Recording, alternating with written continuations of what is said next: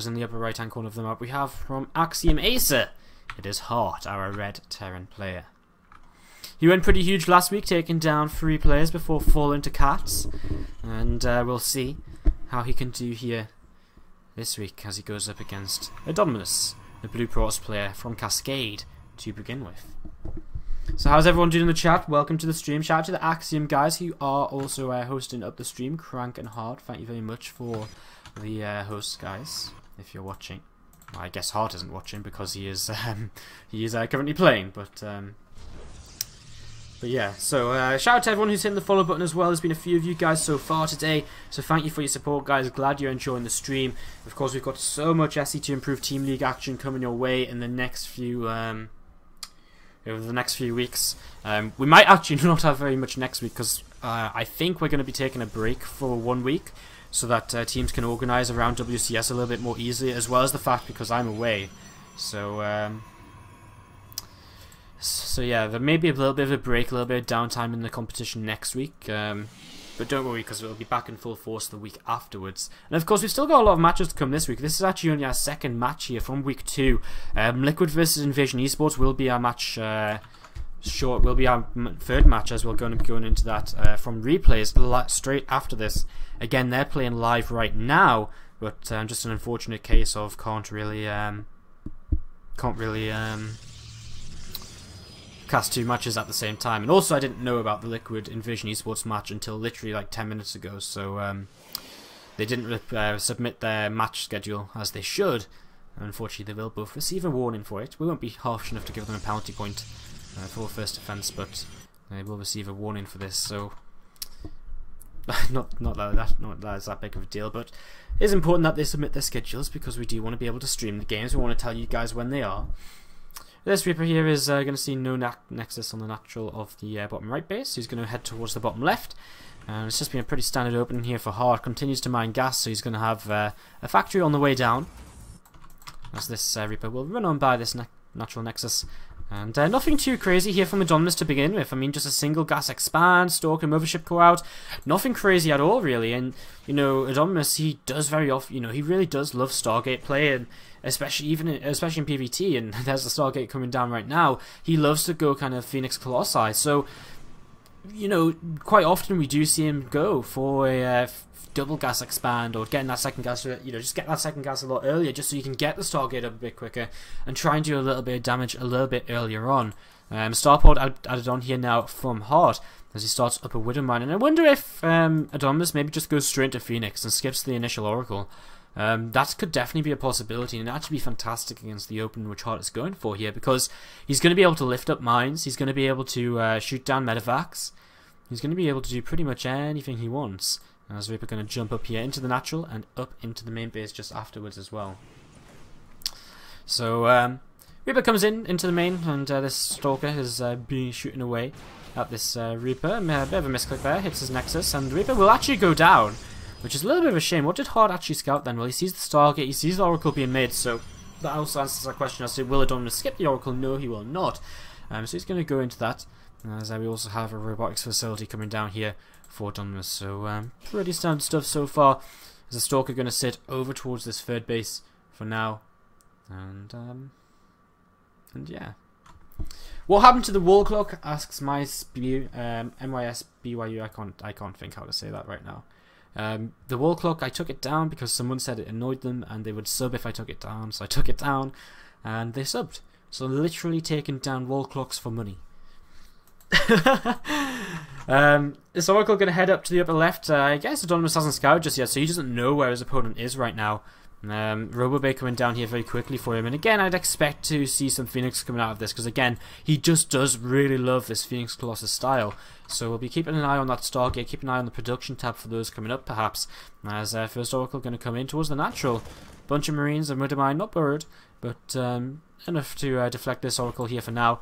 And uh, he will just drop the Revelation. And this is pretty cute. Uh, going to be able to see these units moving across the map, for example.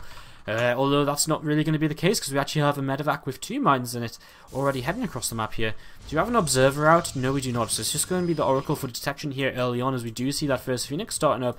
Uh, but these mines are going to get a little bit of damage done. He's going to have to... Okay, starts an observer now, so uh, how much attention is he paying? Not enough. And this is going to be a big hit on the Widow, on the probes. Eight workers killed. And Anonymous not paying attention to his natural just then. Drops the photon overcharge here in his main. As uh, this Widow Mine is going to drop off here anyways. And uh, shouldn't be too much damage done.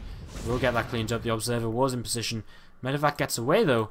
And uh, Heart with eight workers killed, that's going to be more than what he was probably really expecting to get done here.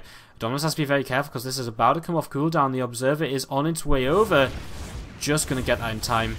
And uh, does clean it up here. So first Phoenix comes out, and that's something as well this Medevac will have spotted. Or did it not, maybe? Mm, I guess I guess not. Uh, my 40 would have seen the... Uh, I mean, he definitely went over the Stargate, so...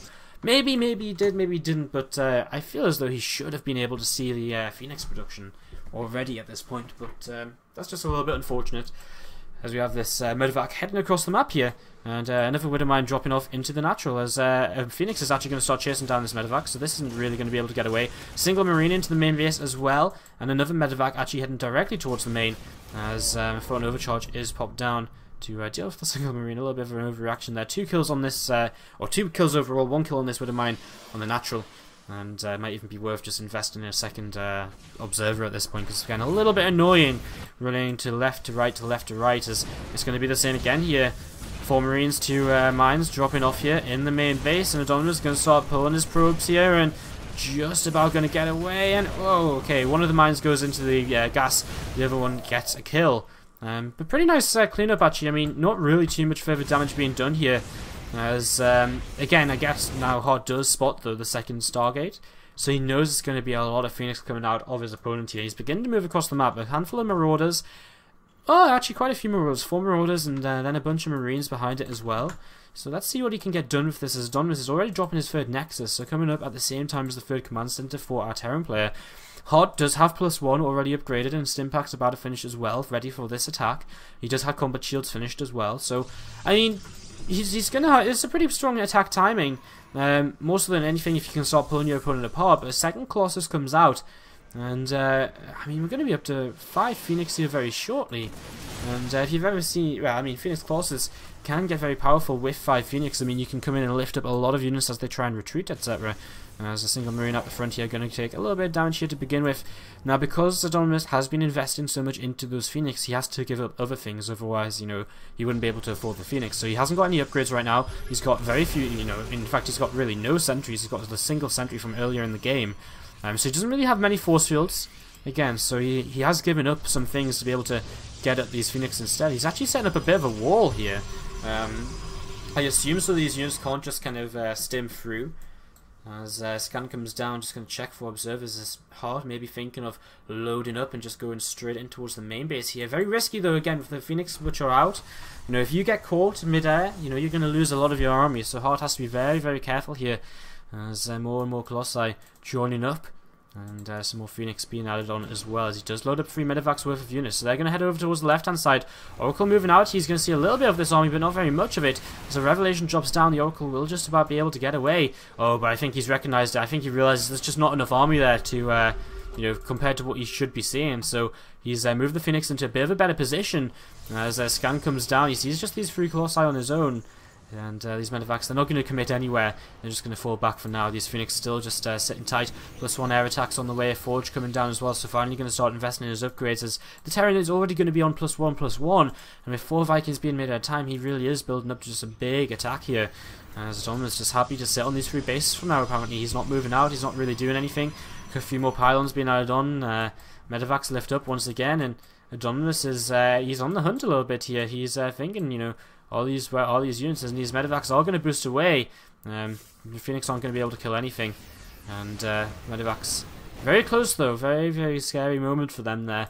As uh, they will survive for now as the SCVs are being pulled. Wow, I don't know if this works. You know, with a wall off here, four Colossi out. I mean, how many uh, how many Vikings do you have? Twelve. I, I mm, but there's twelve Phoenix out as well, guys. You got to remember that.